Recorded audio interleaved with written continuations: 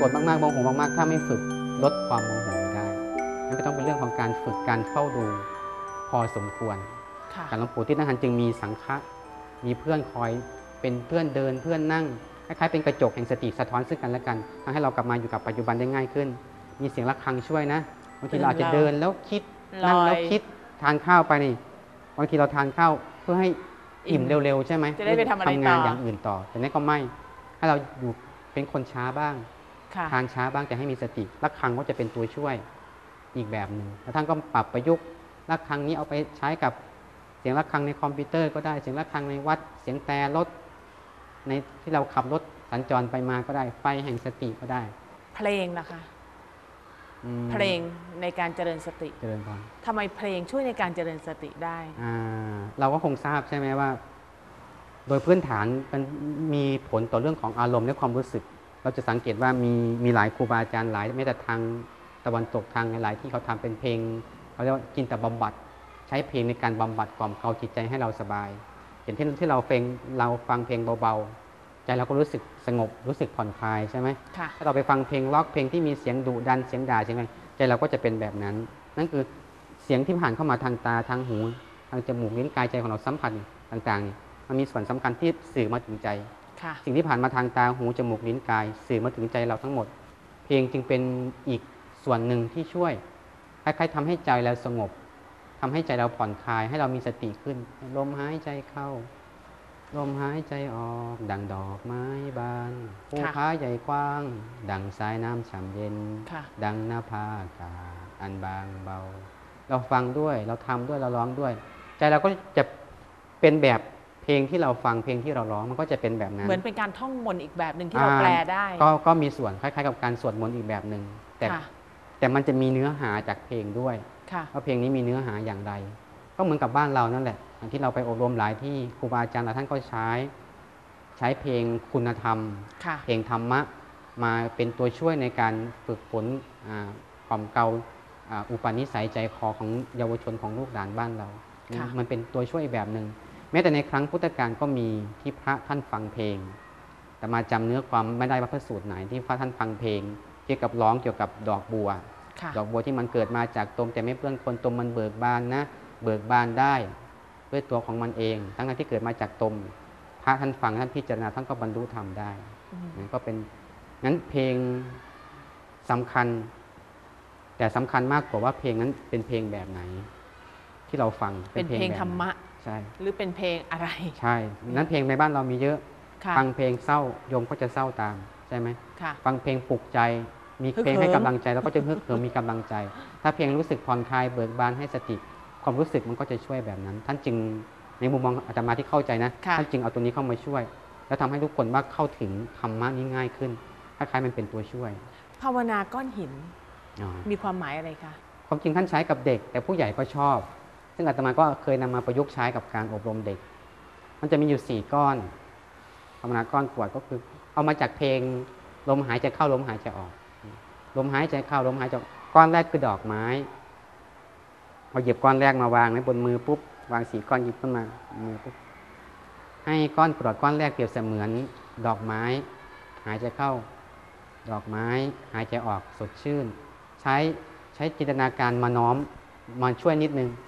คล้ายๆกับพุทโธใช่ไหมหายใจเข้าเราพุทหายใจออกโธแค่เปลี่ยนเป็นหายใจเข้าดอกไม้ หายใจออกสดชื่น ถ้าใจของเราเรามีสติกับลมหายใจเข้าลมหายใจออกจริง ๆ กายใจของเรามันจะสดชื่น มันจะไม่ขุ่นมันจะไม่เหี่ยวหอยเหี่ยวไม่เศร้าหมอง มันจะสดชื่นเหมือนกับใครๆที่เห็นดอกไม้ แล้วก็รู้สึกชื่นบานตา สบายตา ก็จะเป็นแบบนั้น นี่คือเอามาช่วย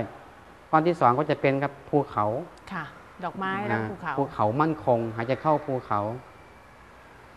หายใจออกมั่นคง ภูเขามีเสมือนความหนักแน่น ความมั่นคง ไม่ว่าจะมีอะไรมากระทบเราเราจะไม่หวั่นไหว เราจะหนักแน่นเป็นตัวของตัวเองอยู่กับสติอยู่กับความรู้สึกตัว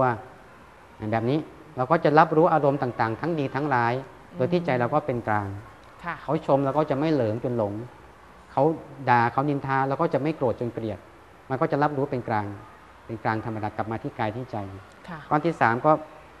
หาสายน้ำไหลเย็น คือถ้าใจของเราสงบจริง ๆ มันก็เหมือนดั่งสายน้ำที่มันไหลเย็นคใครๆก็เข้าใกล้แล้วก็ชับล้างร่างกายอาบน้ำล้างหน้าก็เย็นสบาย เป็นประโยชน์เข้ากับคนอื่น ปรับตัวเข้ากับคนได้ง่าย นี่คือเป็นเป็นความหมายที่สื่อออกมาก้อนสุดท้ายก็คือท้องฟ้า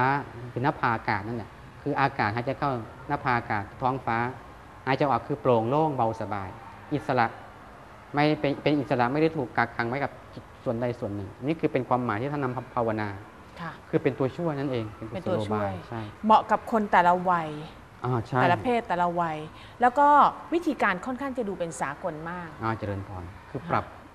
คือท่านไม่พระอาจารย์จะไม่เน้นว่าเป็นของศาสนาพุทธใช่ทีบางทีท่านไม่ไม่ได้พูดเลยว่าเป็นคำสอนของพระพุทธเจ้า ในคำพูดของท่านนะแต่วิธีการมันเป็นมันใช่ เลยมีคนสงสัยอย่างนี้ค่ะว่าอืม ศาสนาพุทธมีความต่างกับศาสนาอื่น คือเรามีนิพพาน เจริญพร การที่ปฏิบัติตามแนวของท่านติณทัน เป็นเซน เป็นเถระเป็นมหายานเจริญพรวัดท่านก็ไม่เรียกว่าวัดท่านเรียกว่าหมู่บ้านเพื่อเจริญความเป็นสากล ถ้าเรียกว่าวัดแล้วเดี๋ยวฝรั่งไม่เข้าเพราะอ่าฝรั่งจะไม่เปลี่ยนศาสนาเจริญพรก็มาปฏิบัติ meditation อะไรไป สุดท้ายแล้วปลายทางเนี่ยจะไปถึงนิพพานไหมคะไม่ว่าจะปฏิบัติตามคำสอนของครูบาอาจารย์ไหน ถ้าครูบาอาจารย์นั้นสอนตามหลักมักมีองค์แปด สอนตามหลักศีลสมาธิปัญญาตามหลักของสติปัฏฐานสี่ถ้าปฏิบัติถูกล่องไปถึงแน่นอนเขาเปรียบเทียบว่าคล้ายๆ ทางมากรุงเทพ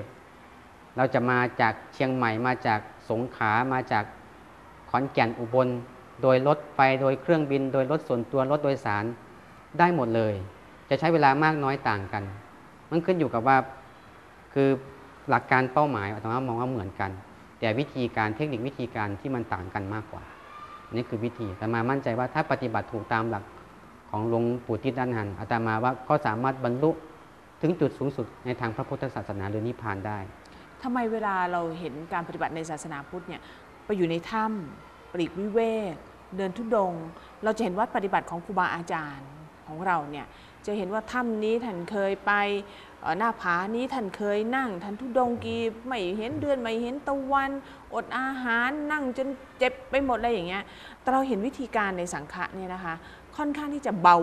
อืมๆใช้คำนี้ได้ว่าเบาๆการบรรลุธรรมเนี่ยไม่ต้องวิบากมากอ่าแบบครูบาอาจารย์สายในเมืองไทยของเราเชิญครับหรือไปแบบนั้นก็ถึงเหมือนกันเหรอคะท่านทำแค่นี้ก็จะบรรลุเหรออ่าไหมใช่ค่ะอา เบิตกบานเชิญก่อนร้องเพลงร้องเพลงทานข้าวเคาะระได้ฆังสามมื้อ มีการออกกำลังกายก็เหมือนกับญาติโยมปกติใช่ไหมใช่ค่ะอ่าเจริญพรเหมือนกับว่ามันน่าจะเป็นแนวทางบอกอาคารวาสมากกว่าอ่าเจริญพรแล้วก็ไม่ต้องอ่านด้วยค่ะอ่าเจริญพรถูกต้อง ความจริง เป้าหมายนิพพานสำคัญนะใช่เป็นค่ะสิ่งที่เราควรปรารถนาแต่ พูดถึงนะ ในสถานการณ์ของโลกปัจจุบันอาตมาว่านิพพานสำคัญจริง ๆ แต่เราไม่ต้องถึงนิพพานก็ได้ ขอแค่แค่เรามีสติ แค่เรามีศีลห้านี่รักษาศีลห้าได้ สติจะให้เราทำมีศีลห้าโดยอัตโนมัติ แค่นี้ได้อาตมาโลกก็สงบแล้ว สังคมก็สงบแล้วกายใจชีวิตของเราก็ดีขึ้นแล้ว ถ้าเราพิจารณาดีๆนะชีวิตของเราถ้าเรามีศีลห้าจริง ๆ ซื่อสัตย์ต่อศีลห้าต่อพระธรรมคำสอนน้อมนำไปปฏิบัติจริง ๆ มีสติจริง ๆ ครอบครัวของเราเนี่ยมันก็จะเริ่มมีความอบอุ่น มีความเบิกบาน มีความเข้าใจกันมากขึ้น แต่เมื่อไหร่ก็ตามถ้าเราไม่มีปุ๊บเราได้ความสำเร็จเราได้สิ่งต่างๆ มามากมาย มีรถมีบ้านมีเงิน หลายสิ่งหลายอย่างเรามีมามากมาย แต่ถ้าเราไม่มีศีลไม่มีธรรมในวิถีชีวิตแล้ว สิ่งนั้นอาจจะสูญหายไปหมดเลยก็ได้ เหมาะแค่โลกปัจจุบันหรือยังไงคะการภาวนาตามแนวท่านจิตติดเนี่ยค่ะอ่าในแนวทางของสายมหายานเขาจะมีเรื่องของอาดินแดนของสุขาวดีค่ะ คือดินแดนของก็คล้ายๆเป็นสวรรค์คือความสงบที่เขาเข้าใจว่าเป็นนิพพานคือถ้าเขาเข้าใจว่ามหายานนี้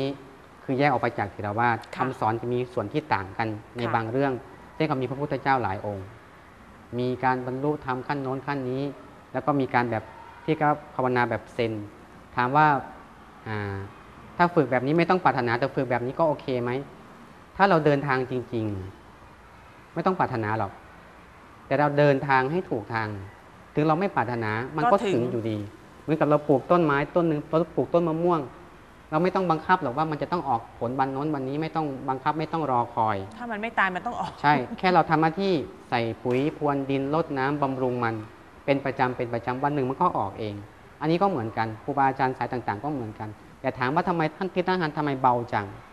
อาตมาว่าเป็นเรื่องของการปรับประยุกต์ให้เข้ากับสังคม แต่ก่อนสังคมของเราคนความอดทนของคนมีเยอะ เราจะเห็นความต่างระหว่างเทรวาสใช่ไหมมีพระป่าให้เดินครูมีบาอาจารย์ถ้ำให้ไปของเราเข้าจาริกถ้ำอ่าค่ะต้องเดินทุดงค์ถือปฏิบัตินอนใต้โคนไม้ปรากฏ ใช่ค่ะ ฉันมื้อเดียวแบบปฏิบัติแบบอุกฤษเข้มข้นมาก ปฏิบัติแบบนี้อาจใช่ เป็นสิ่งที่ในแนวเทรวาสของเรายึดมาแบบนี้เราก็ปฏิบัติ แล้วครูบาอาจารย์ที่ปฏิบัติหลวงปู่มั่นหลวงปู่ชาหลวงปู่เขาและครูบาอาจารย์ของเราต่างๆท่านก็ปฏิบัติถ้าเราไปศึกษาท่านก็ปฏิบัติจริงท่านก็รู้จริง แต่คนที่เดินเข้าปงเข้าป่าปุ๊บ ถ้าท่านรู้จริง ท่านไม่อยู่ในป่า ถ้าท่านรู้จริง วันหนึ่งพระที่เดินทุดงเข้าป่า ท่านจะออกมาสู่สังคม หลวงปู่มั่น ท่านเข้าทุดง ท่านรู้ธรรมท่านออกมาเผยแพร่เทศสอนญาติโยมเทศสอนพระหลวงปู่ชาเดินทุดง รู้ธรรมออกมาเทศสอนญาติโยมเพื่อแต่พระเหมือนพระพุทธเจ้า ท่านบรรลุแล้ว ท่านจะเอ้ยลังเลว่าจะสอนหรือไม่สอนดี แต่พระพุทธองค์ก็เพื่อสังคมเพื่อสัตว์โลก สอนหมดพิสุภิกษุณี แม้แต่เทวดา แม้แต่คนยากคนจนกระกระต๊อบยาจกไปถึงพระราชวังของพระราชาพระองค์ไปหมดนั้นถ้าเรารู้จริงๆนะเราจะเข้ามาอยู่กับโลกโดยที่ไม่หนีโลก แต่เราอยู่กับโลกแบบโดยที่โลกไม่กลืนเรา